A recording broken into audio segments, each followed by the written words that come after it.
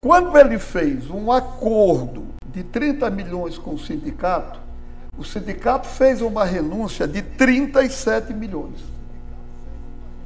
Muito dinheiro, né, cara? Agora, pasme, quando a gente soma o 67 com o 28,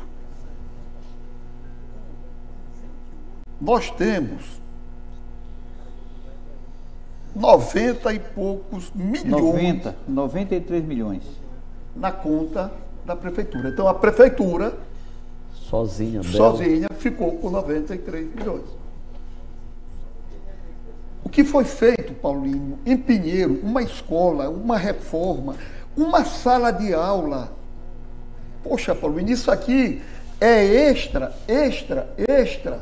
Qualquer transferência é extra. O repasse do Fundeb mensal é extra, o merenda escolar.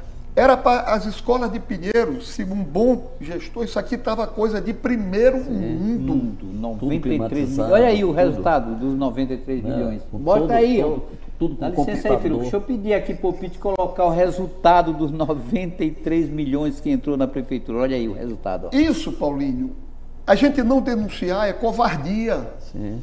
O povo de Pinheiro tem que saber que o maior mal que foi feito nessa administração foi retroagir a educação para a época do pai dele.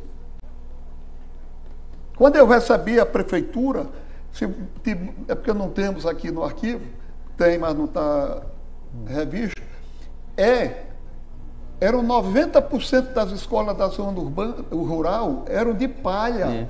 Barracões. Nós, sem recurso federal, sem precatório, naquele tempo, conseguimos fazer todas as escolas que Pinheiro precisava. Todas.